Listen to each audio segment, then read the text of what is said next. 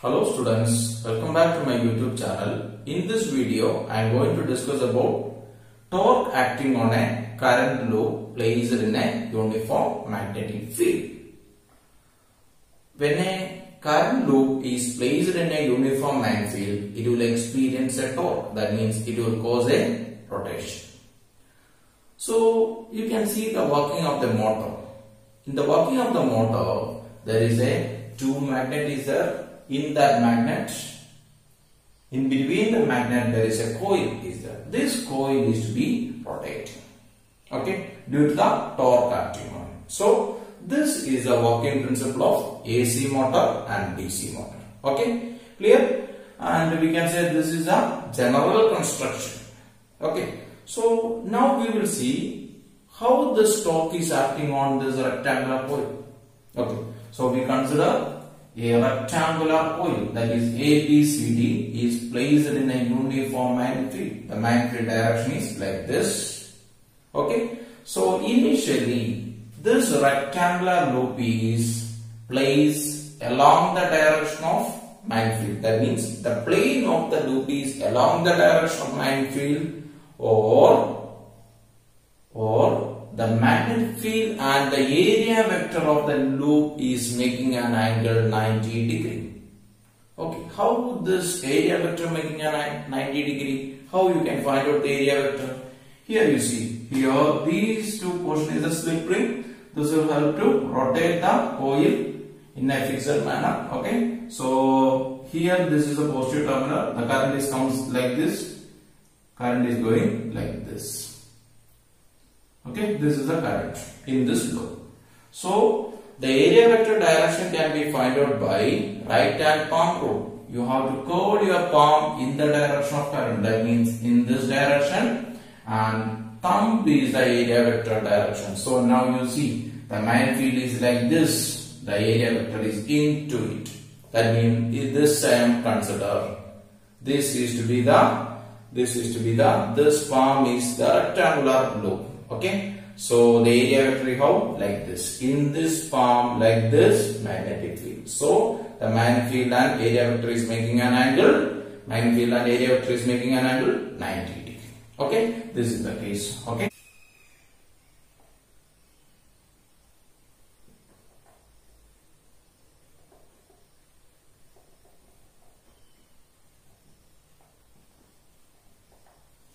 B is acting along the plane of the loop. Okay, this is the case. Clear? Now we will see what are the forces are acting on it. The current is to be I. Here also the current is I. Here also the current is to be I. Okay. So I consider this rectangular loop as a four straight current carrying conductor. That is one is AB, another is BC, another is CD, and another is AD.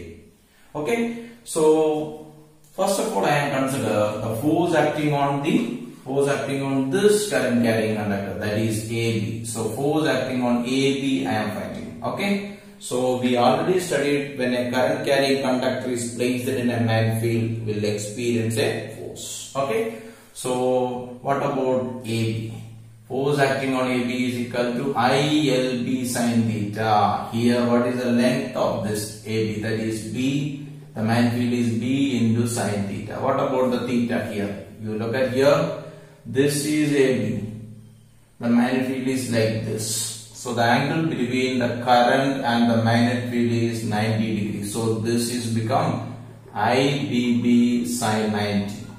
Okay, so you will get as IBB. Okay, this is the thing and now we see the direction of the my force acting on it. How you find out the direction of the force acting on it? The direction of the force you can find out by right hand thumb rule or Fleming's left hand rule. So I am applying the right hand thumb rule here. So I place my right hand in the direction of current, curl towards the direction of field. So the force is acting into it. So here the force is like this into it. This is the force direction.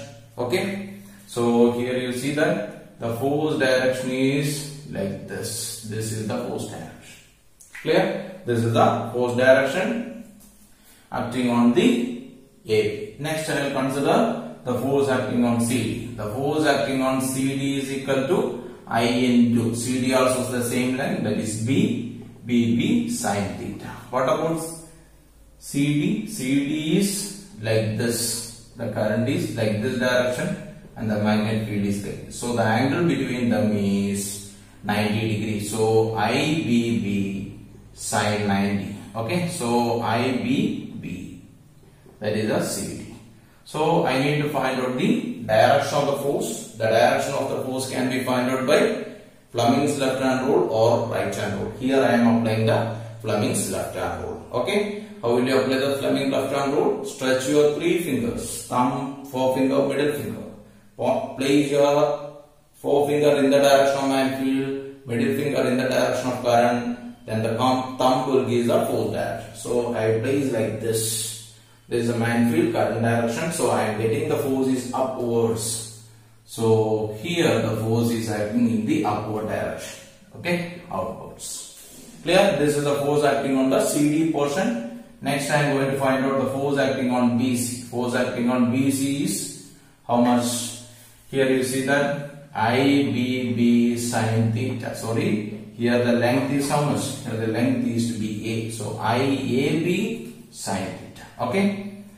Now you see that this is the BC portion, the current is like this BC portion. What about the magnetic field? Magnetic field also in the same direction. So the theta is equal to 0. So IAB IAB sine 0 you will get. Okay, so what about sine 0? Sine 0 is 0. Okay, next you will see the force acting on AD. Force acting on AD. Force acting on AD is IAB sine theta. Okay, here also the length is A. So look at like this. This is AD. Okay, man field is like this. So what about the angle between them? Angle between them is 180 IBB sine 180 you. Sine 180 also 0. Force AD is equal to 0. Okay. So in this loop only two forces are acting on it. What about the magnitude of the two forces? You look at the magnitude. The two forces are to be in the same magnitude but in the opposite direction. So the net force acting on this loop is 0. Okay. The net force acting on the loop is 0.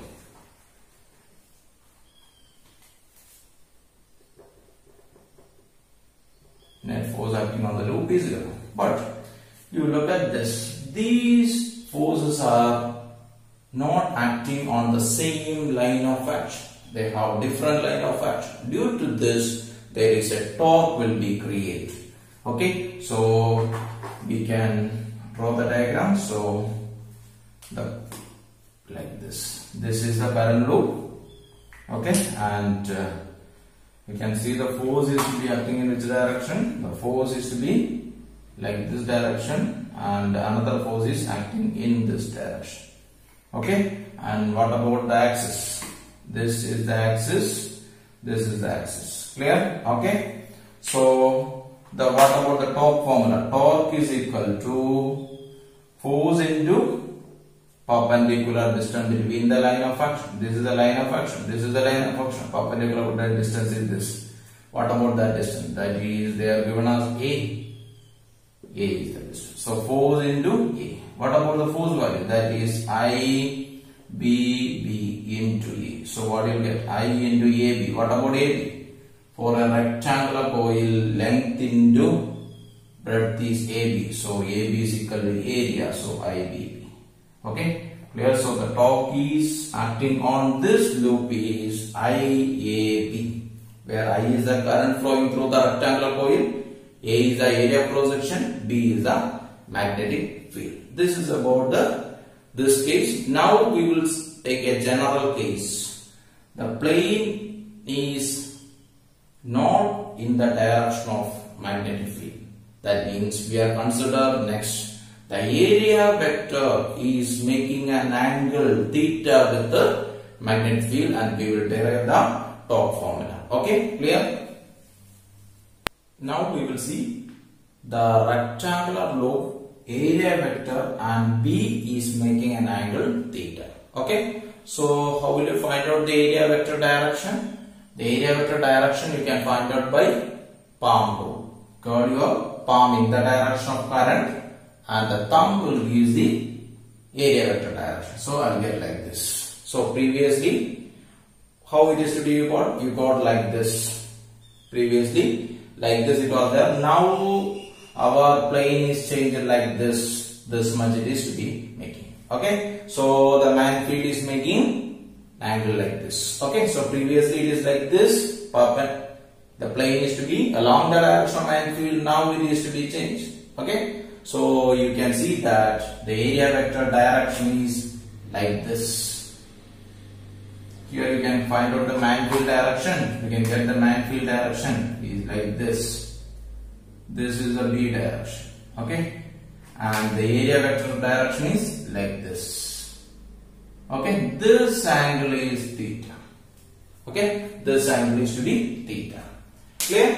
Okay. Now we will do the formula. So first we are going to find out the force acting on the rectangular loop. We will consider this rectangular loop as a 4 current carrying conductor. First we will find out the force acting on AB. Force acting on AB. Force acting on AB is equal to IBB sine. What about the angle? What about the angle? That is theta. You look at here. This is AB the current is acting like this and the B direction like this. So the angle between them is 90. So IBB sine 90. So the force is IBB we will get that is FAB. Okay. So what about the direction of this force? This direction of the force can be found out by Fleming's left hand rule or right hand rule. Now I am going to apply right hand rule. I will place my right hand in the direction of current curl towards the direction of field. So I'll get the force direction is going into it. That means this is the force direction here. Okay, this is the force direction. Clear? Next I'm going to find out the force acting on this CD. Force acting on CD.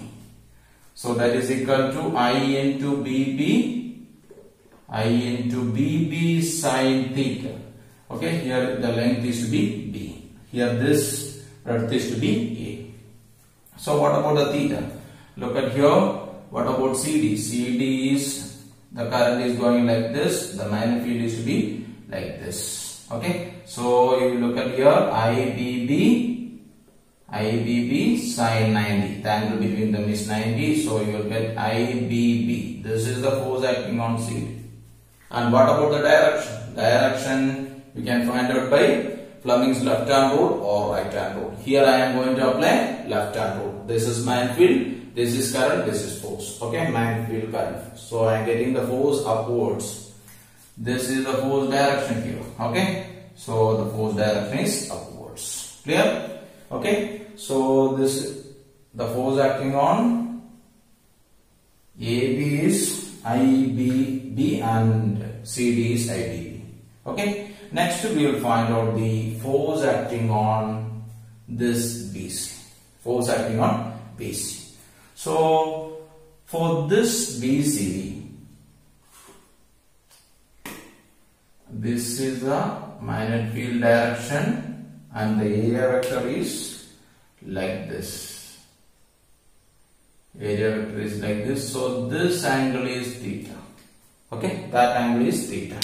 Clear? Okay, then now we will see the force acting on BC is equal to F. BC is equal to I into length is A into B into sine of. What about the angle? A and B is making an angle is to be theta. So what about this angle? This is 90 minus theta because this and this is to be 90. So this is 90 minus theta. So sine 90 minus theta. What about sine 90 minus theta? Sine 90 minus theta is cos theta. So IAB cos theta you get. Okay, IAB cos theta. Okay, now we will see the direction of the force. The direction of the force can be found out by Fleming's left hand rule or right hand rule. Here I am applying the left hand rule. I place my place my forefinger in the direction of the man field and the This finger, this finger is to be in the direction of current. So I'll get the, this is the current direction, this is the force direction. So the force direction is acting along the axis in this direction. This is the force acting. This is the force is BC. Okay, clear? Okay. Next we will see what is the force acting on AD. The force acting on AD is I AB sine, how much is that? Here the magnetic field is acting in this direction and the area vector is like this. This is the area vector. This angle is theta. So this angle is 90 minus theta. We need this angle. This is also, this and this are opposite angles. So this is also 90 minus theta. Clear? Okay. So here what you will get? Here 90 minus theta. What about sine 90 minus theta? That is cos theta. So FAD is equal to IAB cos theta. Okay. And we want to find out the direction. The direction can be found out by Fleming's left hand rule. Okay. So place my forefinger in the direction of the field and uh, the current is to be, the my current direction is to be the middle finger. So like this you see like this. So this finger is acting downwards along the axis. So the force acting on AD is like this. This is the force acting on AD. Okay. So look at the BC, FBC and FAD. FBC and FAD having same magnitude and are in the opposite direction. So the F net is due to these two forces 0 and these two are acting along the same line of action. This is the line of action. So this force will not produce any torque.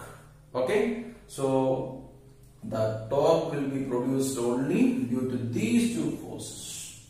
Okay. We will see this line of action is different or not. Okay. This is about uh, this. Okay. Now we will see what about the torque acting on it. Okay. So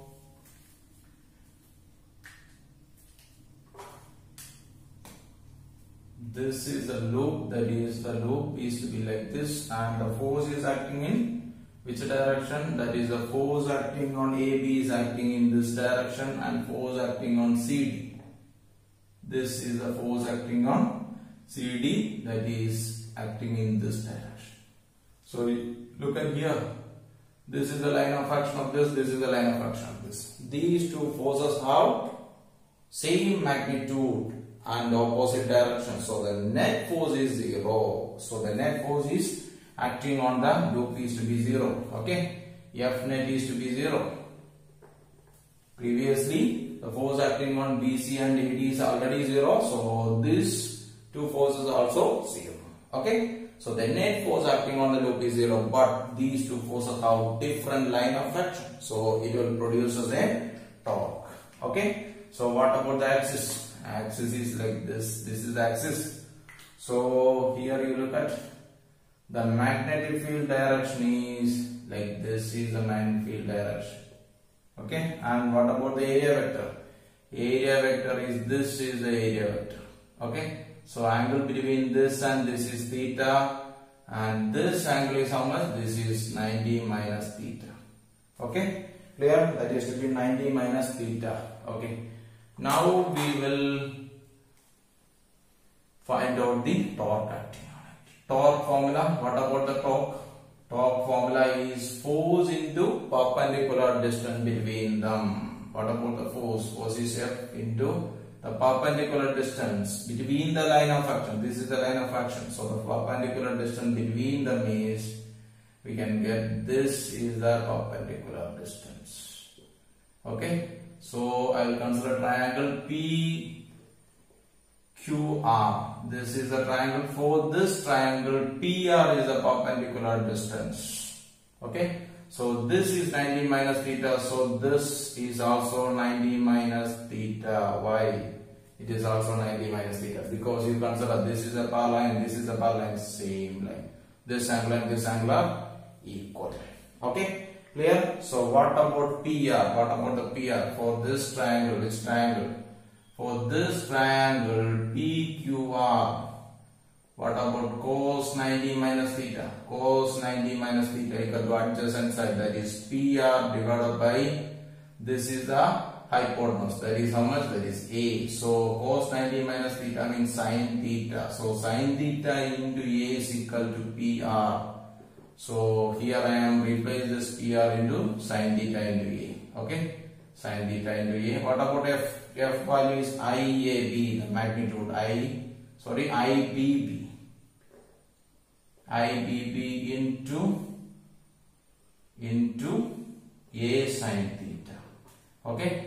Clear? So I into A into B sin theta will take here A is a vector quantity, B is a vector quantity. This is the torque. This is the torque. Clear? Okay. And now you see this we can write in the vector form that is I into A cross B we can write like this. This is also the torque formula. Okay. Clear? This is the torque acting on the current carrying rectangular loop placed in a uniform magnetic field. Okay. And we can change this formula in another way. Look at here. What about magnetic moment of a loop? Magnetic moment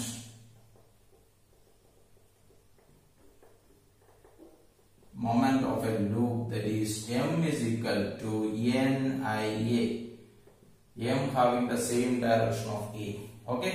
So here n is equal to 1 so m is equal to what you get na sorry ia okay? Clear? So in this equation the ia i am changing to m. So what about the torque formula? Torque is equal to we will get it as m b sine theta where m is the magnetic moment. And I am writing the torque also in the vector form that is equal to m cross b. M cross b. Okay? Clear? Where theta is the angle between m and b. This is to be little bit be good. Okay? Because the torque acting on the electric dipole placed in a uniform electric field is P is sin theta. P is the electrical dipole moment there. E is the electric field and sin theta is the angle between P and E. So in the electrostatic the torque is what you get P sin theta. Okay. Compare with these two. You change the electrostatic variable to magnetic variable that is electric dipole moment into magnetic dipole moment that is M and electric field into magnetic field you will get the same formula. Okay? Clear? Okay. Then we will discuss the two cases. That is a case 1 case 1 theta is equal to 0 if theta is equal to 0 what about the torque? Torque is equal to you will get it as 0 already we got it as f net is equal to 0 so if the angle between area vector and b is to be 0 that net force acting on the rectangular loop is 0 and the torque acting on the rectangular loop is 0 then we can say that this loop is in stable equilibrium. Okay? Clear? Loop is in stable equilibrium and the case 2 case 2 theta is equal to 180 degree. If theta is equal to 180 degree the torque what will get that is mb sine 180 sine 180 also 0 so the torque is to be 0 we already got f net is 0. So now you see that the net force is 0, net torque is 0. So now the rectangular loop is in unstable equilibrium because it is to be tried to move. Okay, that is in unstable equilibrium. But if theta is equal to 0, the dipole is in stable equilibrium. Okay, this is about uh, the torque on a current loop in a uniform magnetic